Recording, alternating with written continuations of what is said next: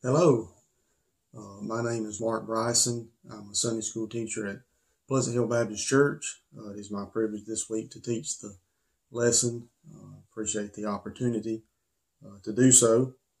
Uh, the title of our lesson this week is Knowing God. And the point of our lesson is our hearts are satisfied as we encounter God through His Word. And our lesson does come from Psalm 119, verses 17 through 24. I'm going to uh, pray for us and then we'll get started with our lesson. Um, and then we'll talk a little bit before I get ahead of myself. We'll, we'll, we'll pray and then we'll get started and we'll talk a little bit about this, uh, the 119th Psalm. Well, let's pray and we'll get started. Lord, we thank you so much uh, for the privilege and the opportunity to call upon you, Lord. We thank you, Lord, that uh, even though we uh, are limited as far as how we can get gather together, we are thankful that we can uh, gather uh, through the power of technology uh, to be able to still meet for Sunday school. we thank you for that, Lord. I pray that you would be with us as we study our lesson. I pray, Lord, that you would uh, help us to help us to clear our hearts and clear our minds. Help us to focus on you uh, and what you have for us through this lesson, Lord. Help us to just put aside all the cares and the worries of the world just for a moment and uh, just uh, just really uh, really focus on what you have for us, Lord. Just help us to do that. Lord, we do pray for our country. Uh, we do want to focus uh, at this time on our lesson, but do, Lord, we do uh, want to not neglect the opportunity to, to pray for our country, for the leadership of our country, Lord. I pray, Lord, that you would uh, be with our leaders, uh, turn their hearts and their minds to you, Lord. I pray, Lord, that you would help them to make wise decisions. I pray, Lord, that you would help them to make decisions that would honor you. I pray, Lord, that you would uh, just be with our country as a whole, Lord. I pray that you would just uh, help us uh, as as your people uh, to be that light in the world that this world so desperately needs. Again, we thank you so much for the opportunity to call upon you, Lord, and just help us uh, to really hone in on what you have for us today, Lord. In Jesus' name we pray. Amen. Uh, as I said, we're looking at uh, the 119th Psalm, looking at verses uh, 17 through 24. Um, I'm gonna, I think I'll go ahead and read through those verses first, and then we'll come back and talk about some specifics uh, out of a few of those verses. Uh, but uh, Psalm, Psalm 119, verses 17 through 24, the, the Bible says, Deal bountifully with thy servant, that I may live and keep thy word. Open thou mine eyes that I may behold wondrous things out of thy law. I am a stranger in the earth. Hide not thy commandments from me. My soul breaketh for the, for the longing that it hath unto thy judgments at all times. Thou hast rebuked the proud that are cursed and which do err from thy commandments. Remove from me reproach and contempt for I have kept thy testimonies. Princes also did sit and speak against me, but thy servant did meditate in thy statutes. Thy testimonies also are my delight and my counselors. um, it's it's interesting. Um, Psalm the the 119th Psalm is the largest. Um, the there's 176 verses um, in the 119th Psalm, and, and they're arranged in in in 22 um, eight verse sections, and they they it's it's an acrostic. It's each uh, each one of these sections begin with the with a successive letter of the Hebrew alphabet. Um, it would have helped having it laid out in this uh, this fashion would would help uh, aid in studying and memorizing it. Um, because it didn't really each each section followed a, a, a, a common theme, but but the whole book did not really have a. It was not a. Uh, every idea did not fit together. It was meant to be studied in sections, uh, if that makes sense. But the the Psalms overall overall theme is is delighting in the Word of God, but uh, each each section had a specific theme. So it's it's just kind of neat uh, to to talk about some of that stuff. It really uh, doesn't really matter as far as our lesson. It's just it just is what it is. I I, I enjoy um, learning about things like that, even though it may not really matter. But I just find it interesting uh, some of those facts about the 119th Psalm. But let's look uh, specifically at verses 17 and 18 first. Um, Deal bountifully with thy servant that I may live and keep thy word. Open thou mine eyes that I may behold wondrous things of thy law. Verses 17 and 18 served as a as a prayer for the psalmist. Um, the opening words of, of both verses present the the request by the psalmist to God. Um, the psalmist had confidence that, that God was, that God is there, that God wants to help us, and that God has the power to help us. The writer's request that God deal bountifully with him um,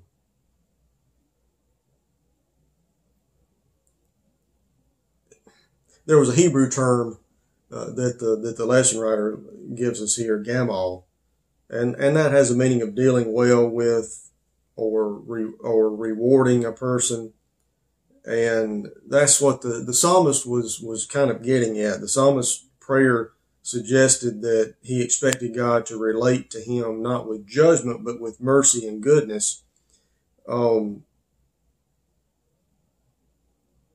but we have to understand realize that, that the writer described his relationship with God uh, as God's servant. He was God's servant. Um, and that, that implied that he had been faithful um, to God. He, he was faithful in all of his actions uh, to God. So he expected that God would um, treat him with mercy and with goodness and with kindness the psalmist prayed that God would deal generously with him so that he might live and keep God's word. His request for life had had had a purpose. It had, it had a uh, it had a purpose more than just he wanted God to be good to him. He he wanted to uh, he wanted to be blessed. He he did. We all do. But his desire was to keep God's word. And he wanted God to bless him uh, so that he, so that it would be easier for him to do the work that God had called him to do. The second request that the psalmist made there in verse 18 was that God would open his eyes. Um, the image of, of opening a person's eyes was used metaphorically throughout the Bible. Um, it, it speaks of gaining insight and, and seeing with clarity um, for understanding and for truth. Um, the psalmist's request that, that God would open his eyes was, was a spiritual plea to God that, that God would grant understanding um, of his word and of his ways.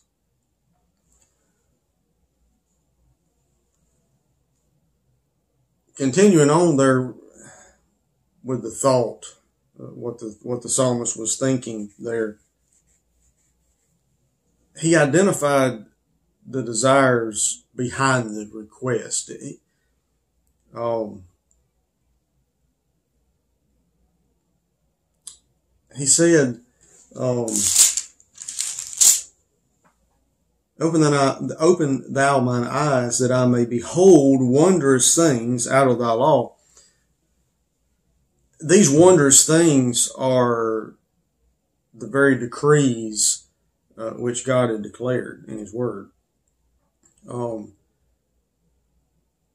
in in in God's Word, He revealed Himself and what He expects from us, how we should live. Um, what he expects from us and all, all of those things in his word. And those are the uh, wondrous things that the psalmist is wanting to understand fully.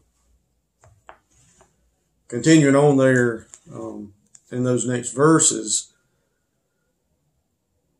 verse 19 said, I'm a stranger in the earth. Hide not thou, hide not thy commandments from me.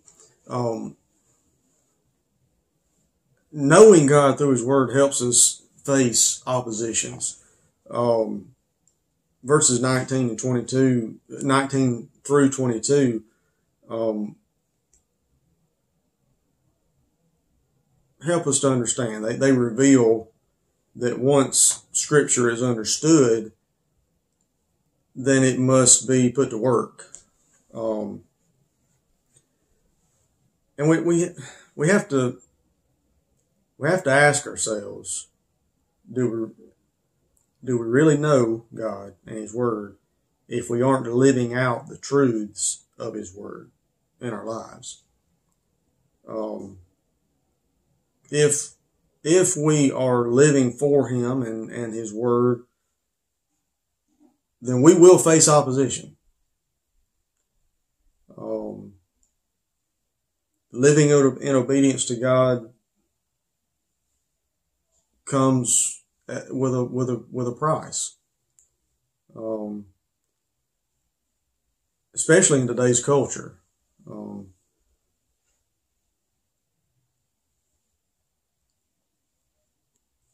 to help us, uh, well, the, the psalmist clearly says there also that um, he was a stranger in the earth. Uh, other other ways of saying that would be a foreigner or a sojourner. Um, Christians live in this world, but they're not of this world. Um, the Bible Bible states that many different times. Um, because believers are not part of this world and we act differently, those of the world um, hate them. Um, Jesus, at, at his trial, Jesus um, told Pilate, my kingdom is not of this world. Um, Jesus said that his followers are in the world, but not of this world. Um, Peter wrote of the believers as, as strangers and pilgrims. Um, Paul told the Christians in Ephesus that uh, in, in Christ they were fellow citizens with the saints and of the household of God. Um,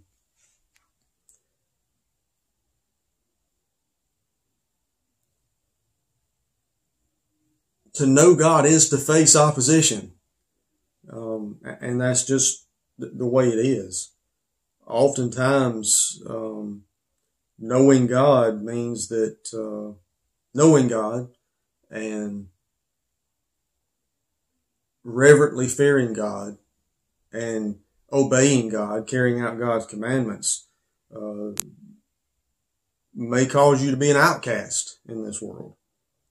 Uh, you may very well be cursed and insulted. Um, Jesus was. And if he suffered uh, beatings and worse, then who are we to think uh, that we are above it?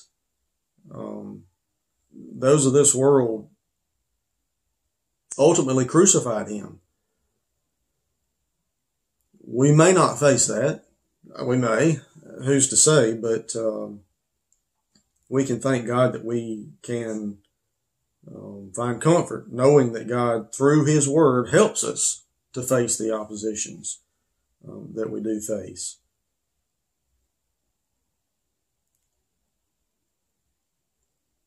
Most likely, um, in relation to the persecution that that uh, the psalmist was was suffering, he he sought God's commandments.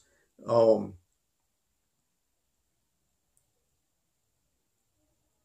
the Bible tells us that the psalmist recognized that that alone he could not deal with the realities of life that he was facing. Um, he knew that that true safety and security were to be found in his relationship with God and and in his obedience to God's commandments. Um,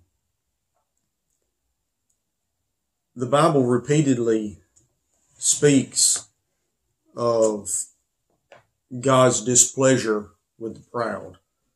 Um, one of the differences between a, a healthy self confidence and, and pride is the need for others. Um, particularly, partic- particularly God, uh, the need for God. And, and many, if, if not, if not most, um, proud people see little or no need for God or for others to help them uh, develop a, a, proper lifestyle. Um, proud people find it very hard um, to allow others to to help them. Now, it doesn't mean that um, um having a sense of self worth or, or having a, a confidence in yourself and your ability uh, with God. It doesn't mean that that's wrong, uh, but it does mean that uh, having a self sufficiency in in in in respect of uh, I can do this on my own and, and not needing anyone else or God, specifically God. Um, in uh, what we find here, though, by the psalmist example, is that he he recognized his need for God. He was he was not uh, he was not exhibiting his um, independence from God. He was um, full aware of his dependence on God and on God's word in his life. Um, God's word also helped the psalmist to deal with uh, the arrogant people that he came and came was persecuted by, and uh, the psalmist explained that the proud are those who are cursed, who err from God's commandments. Um, The psalmist asked God to remove reproach and contempt, also in verse 22. To treat people with contempt means to um, to disrespect them, to dislike them, to despise them, to uh, be condescending condescending toward them. Um, and and as Christians, we face a very similar situation to that uh, today. Uh, those who follow God and, and obey God and His Word um, are often not well received by our culture and our society.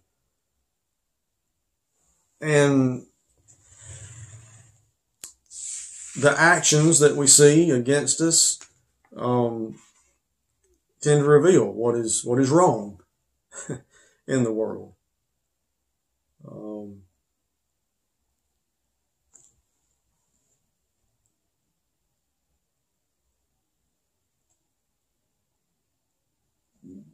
we find the world often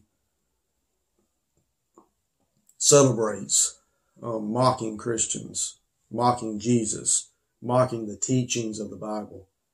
It's often uh, the, the, Bible and Jesus and Christians are often the butt of jokes uh, in our culture and our society. Years ago, it wasn't that way, and not too long ago, it wasn't that way. Not too many years ago, um, there was a even even among the worst of sinners, there was a respect for godly men and women. There was a respect for God's house and God's property. There was a respect for God's word, even among those who would not call themselves a Christian and would not even darken the doors of, uh, darken the doorstep of, of a church. There was still a respect and, and a reverence for God and the things of God and the people of God. But we see a difference in our culture today. Previously, uh, the psalmist in, in the verses prior to verse 23, the psalmist had identified sources of persecution um, as as proud and, and those who reproached him and treated him with contempt. But here in verse 23, he identified a third source of persecution coming from government, coming from the government, from government officials, from princes, is what it, what the, the Bible specifically says. Persecution can come from a variety of sources. Um, we we find this very true in our culture today. Um, there'll be people around you who will follow the wisdom of the world instead of, of God's word. And it, and it's, uh, it can be discouraging and it can be uh, scary in a way. But it, it doesn't matter who may be against you. Your call is to remain in fellowship with God through Christ and through continually uh, meditating on God's Word.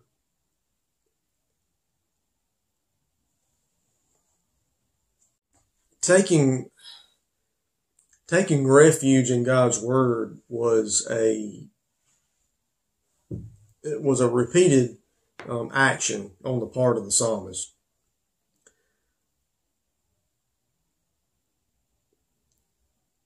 Taking refuge in God's word was not a one time thing. It was a, it was a, uh, it was a lifestyle.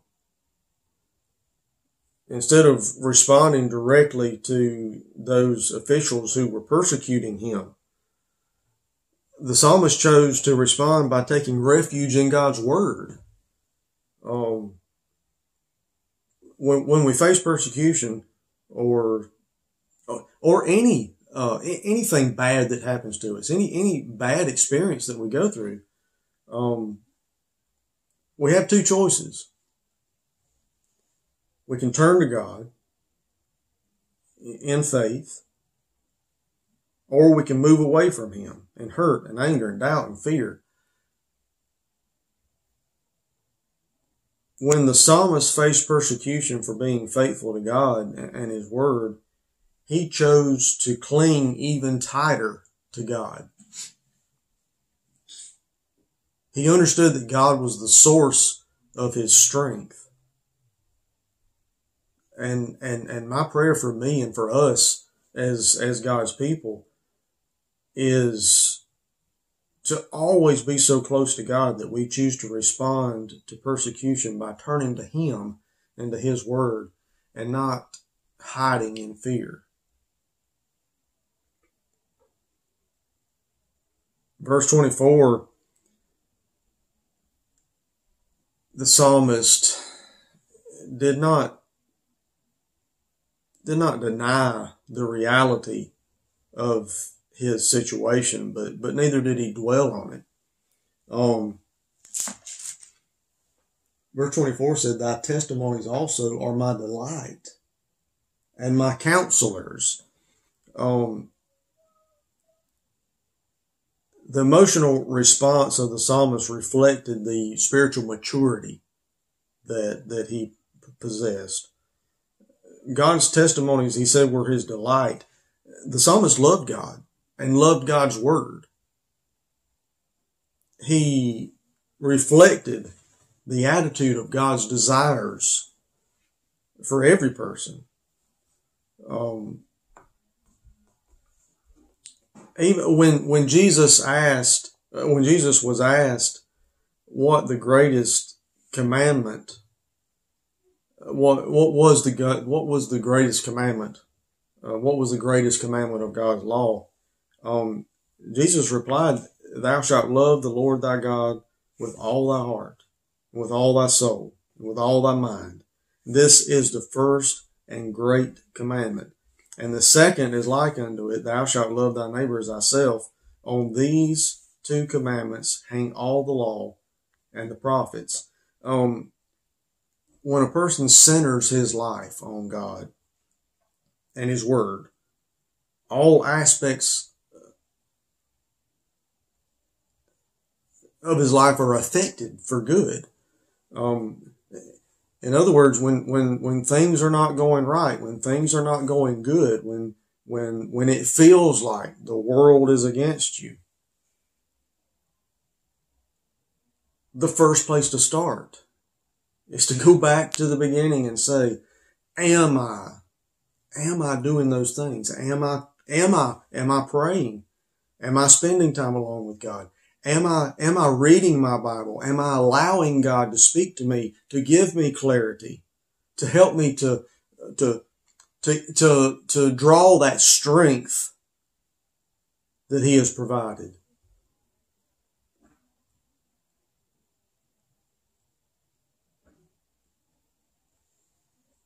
When we are centered on God, when we are focused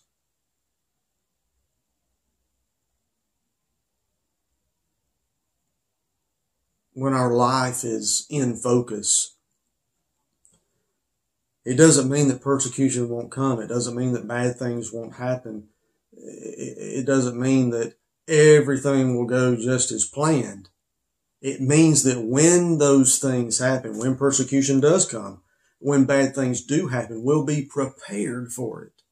And we'll see it for what it is, not that the world's rising up against us not that, uh, uh, not that, oh, we're, uh, here we go again. It's, it's one more, one more, uh, one more weight against us. It, it's not that. It is, we live in a fallen world. We live in a cursed world.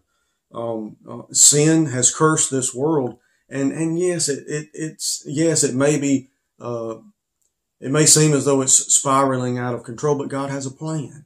God has a purpose for us.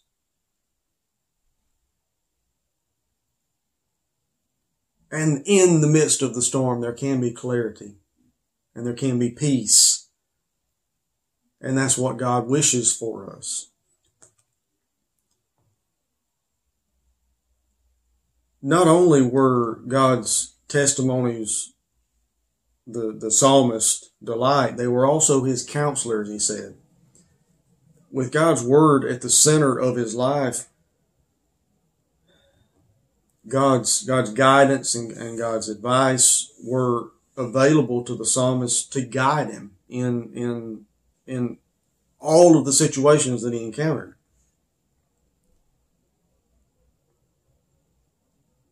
We've said before, uh, we a few weeks ago, and, and we've said before, and it's true that it's it's very important to listen to um, to to God to have godly counsel, to listen to those godly people whom the Lord puts in our lives. That's that's one of the ways that God speaks to us is through uh, through those godly people, uh, preachers and teachers, and friends and family who are good, godly people. And it's good to, to have someone to talk to and, and to, to listen to, uh, and God will speak to us through them. It's good to have those people that we can trust and who know us, but they cannot replace God's Word. They cannot replace uh, God Himself in our lives. God's Word is perfect and infallible. Not that we can't trust those people, but we can't rely on them solely. They're, they're good to have. They're good to talk to. They're good to have somebody to talk to. And God often speaks to us in that way, but if we're not going to God directly, then that gives place to the devil. And we have to be careful there too. When we seek God through His Word, our relationship with Him is strengthened. We we grow in Christ, and this helps us face opposition, opposition, and and, and keep the right perspective.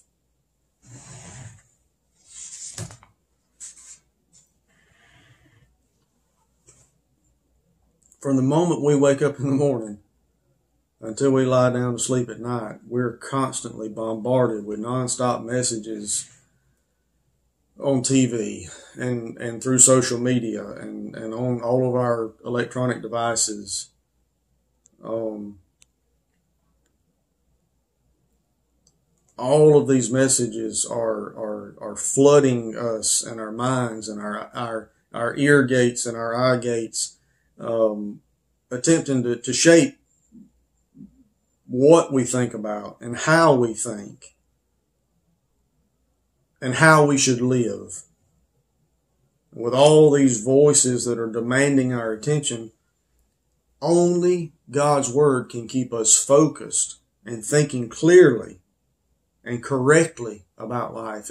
When you feel like, when you feel bombarded and you feel overwhelmed and you feel like you don't know where to turn, the first first thing to check up is am I reading? Am I allowing God to speak to me through his word?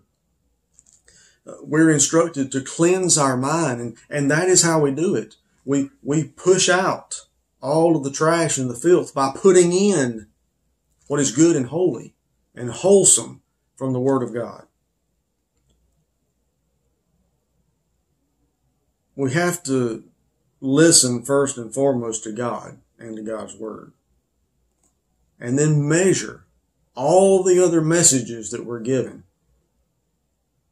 according to what God's Word tells us. What does God command us? What does God tell us about how we should live and how we, how we should think and how we should act? If the messages that are coming from all those different directions don't line up uh, with God's word, then that's our first indicator that they're wrong.